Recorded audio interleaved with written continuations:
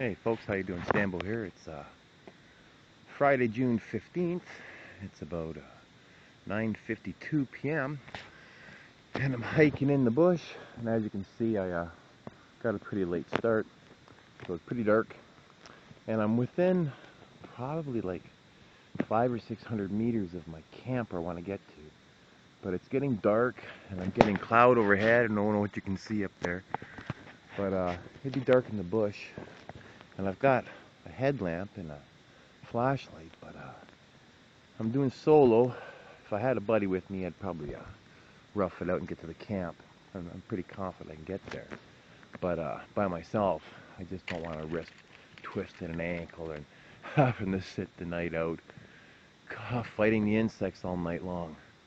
So I'm out at my, uh, I'm on my claim right now at a clear cut so it's not supposed to rain, so I think I'll get a fire going and uh, just spend the night right here where I am.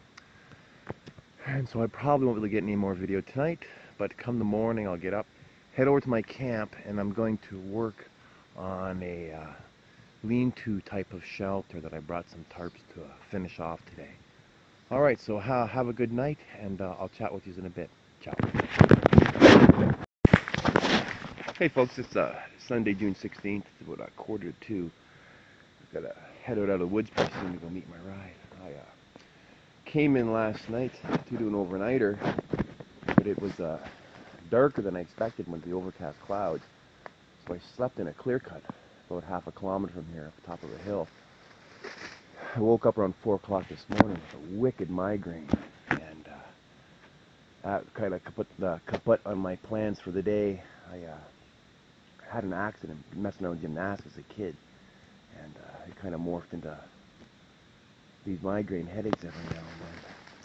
So I woke up at four at the other site, hiked over here to my main camp because uh, all my goodies were over here, creature comforts, so I could ride the day out. So I hopped in my hammock when I got here, and then I pretty much slept until one o'clock.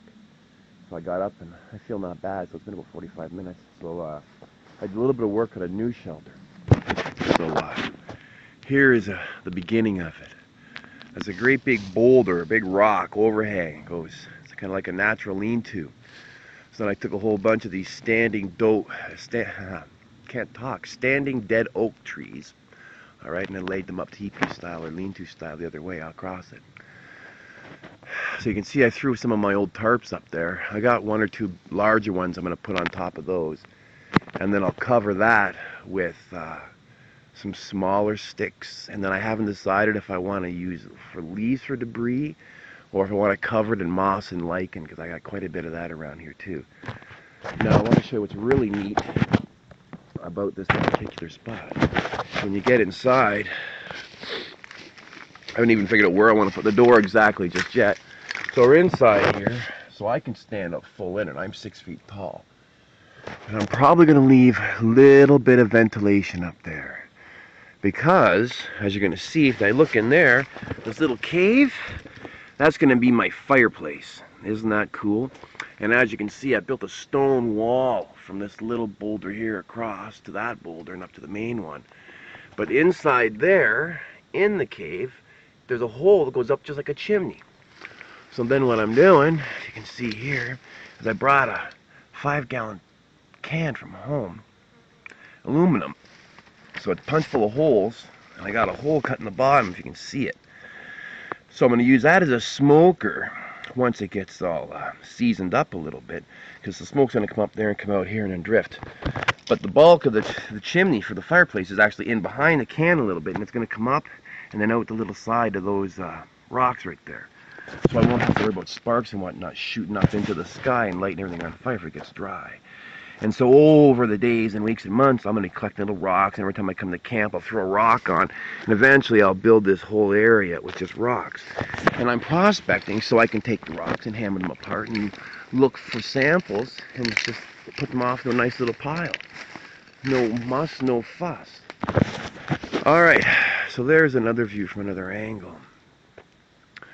Now I'll wander up to my main camp because I've got to get my butt packed up and out of here.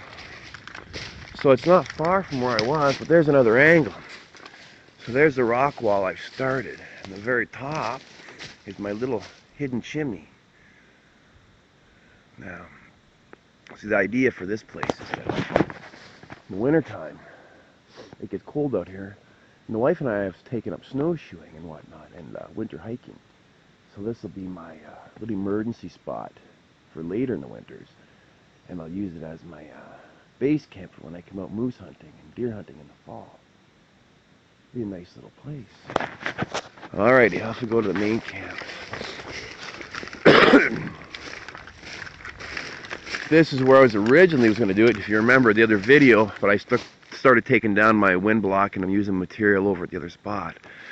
It, uh, it's a nice spot. I might keep it up here just for, uh, in the winter, or summer, sorry, and other people come up with me. So I get the pole to the tree and then the rope over for my hammock. So now I'm just down to my single tarp over top of my uh, fire pit spot now. So I guess I'll finish packing up. That blue bag there is one year's worth of, uh, you know, non-burnable garbage that I've accumulated. I don't like to burn a lot of stuff, so uh, I pack it in a bag. It looks huge, but it's only about maybe five pounds. It's just paper and plastic and some old uh, compression sheets that have gotten worn through. So what I'll do, I got the cache up in the tree or cache or whichever way you'd like to say it. Alright, so I'm going to hike down. It's going to take me about half an hour, 40 minutes to get down to the pit. And uh, then maybe I'll get some Vitamine squeezing out some rounds through my uh, little 22 there. My uh, dad's uh, model 1906 uh, Winchester Pump 22. Fun little toy. Maybe I'll get some vid. Alright folks, I gotta get moving. I'll talk to you in a bit. Ciao. Having a little break. Break. Pretty winded. Gorgeous spot.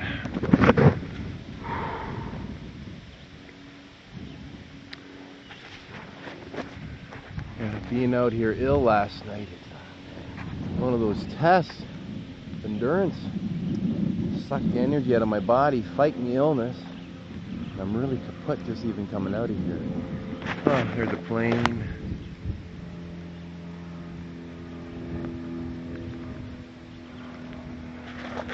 Alright, my ride's supposed to pick me up in about half an hour, so I better get booting. Alright, you guys have a good day.